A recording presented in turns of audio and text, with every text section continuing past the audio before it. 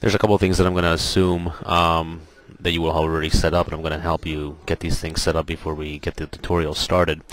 Uh, first we need to select our aircraft. Uh, for the purpose of this tutorial I'm using the Boeing PMDG 737-700, the 2D cockpit. Um, I would recommend that you start with that one for this tutorial also, although it's not necessary. Uh, the other thing, we need to position ourselves at Los Angeles International Airport so let's go ahead and uh, type in KLAX, which is the airport that we're going to be starting a tutorial at.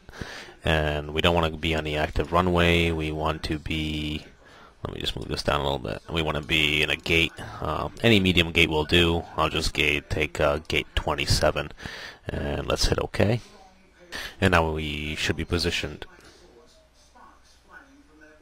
at the Los Angeles International Airport. Let me just hit recall on this real quick and get rid of that.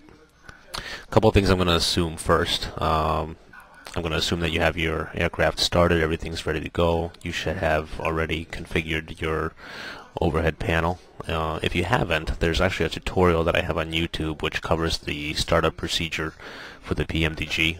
I think that's something that you should view before we go ahead and start doing the FMC tutorial. So let's go ahead and close the overhead panel and let's open up our FMC display and that's very easy to do. We just hit the uh, little F button here in the corner and that's located right here. So we're just gonna hit that and we're gonna open up the FMC let me just position that so you can see it a little better. And that puts us at the main menu for the flight management computer. I want to talk about uh, flight planning a little bit. One of the programs that I'm loading up right now is called FSBuild. And it is a pay payware program but it's very good at what it does well, obviously what it allows you to do is, oops, let me hit the wrong button there. What it allows you to do is um, create an entire flight plan based on your location, which is obviously um, we're at Los Angeles, and we're going to be, for this tutorial, going to be going to Las Vegas, and FSBuild is unique in the fact that it'll create an entire flight plan for you really at just a click of a button. And then on top of that it'll give you an entire map that you can kind of look at. It's actually a very nifty little program. I use it quite a bit.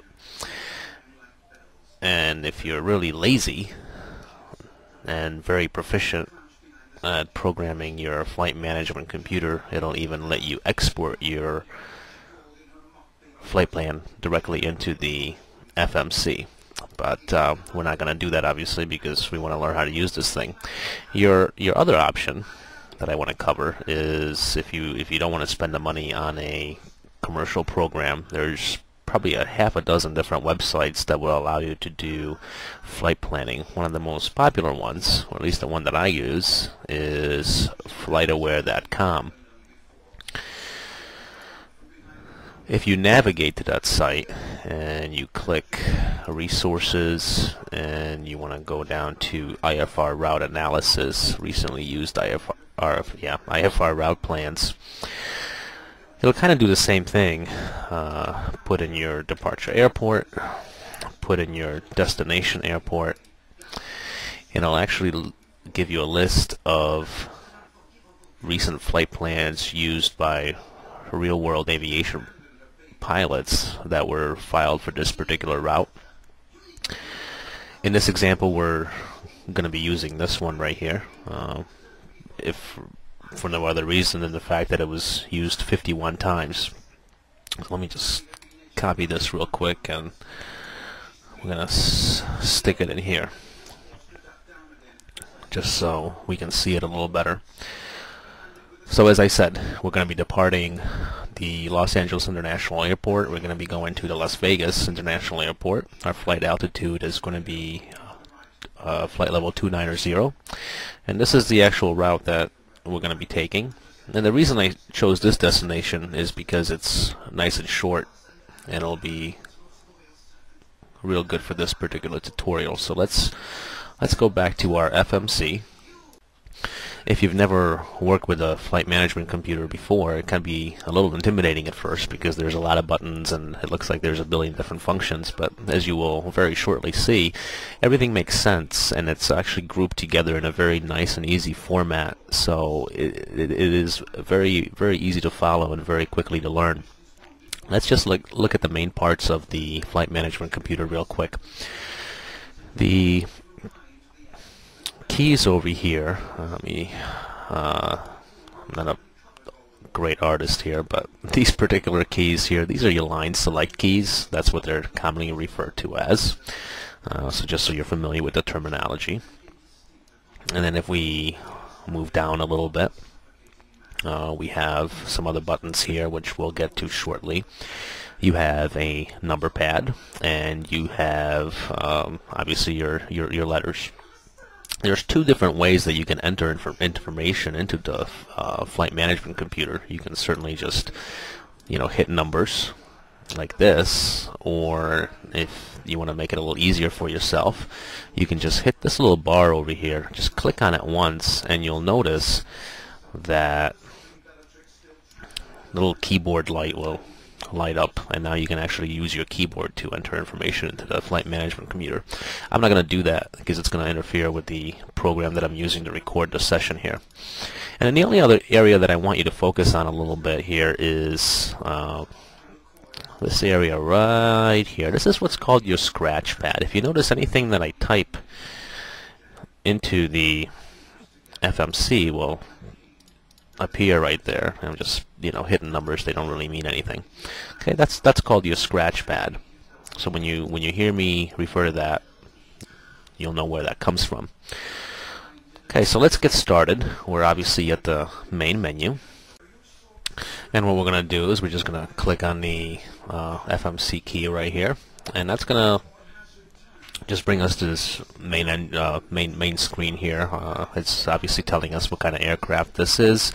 Uh, our last database nav data information. Uh, this is the um, actual database that the FMC gets its information from. That you should uh, you should actually update this as much as possible, so all your approaches are up to date and that's it. So this is this. It's not actually not all that important. This particular page. So let's go into our position initialization page, which is uh, our line select key right here. If we just press that. Before we do anything with the flight management computer, let me just move this over a little bit. We have to tell it where we are because obviously if it's if it's going to know where it's going it needs to know where it's coming from. And the easiest way to do that obviously we're just going to type in KLAX which is the identifier for our airport. And you'll notice that as I'm typing that in it's appearing into our what's this called? The scratch pad. Right there it is right in the scratch pad. And I want to stick this right next to our reference airport information. And just click the line select button and you'll notice our GPS coordinates have changed and I'm going to stick this in here and there we are. So one of the things that you may have very quickly figured out already is that obviously whatever is in a scratch pad and if I press any of the line select buttons that's where that information from the scratch pad is going to go. The other option that it's asking me for is the gate. This is actually not uh, this is not modeled in Flight Simulator. Um, if you if you do want to put something in, we can. You know, just put in you know gate C3. Well, it's not even in a database, so that's not going to work. So we're, we're going to go ahead and uh, just leave that blank. You'll notice that I got a not in, in database error message. Maybe because I selected the wrong gate. Honestly, I don't remember what gate I put my aircraft on. Uh, so let's clear that message, and we can just hit clear. And just keep backspacing, and there we go. You'll notice, obviously, the route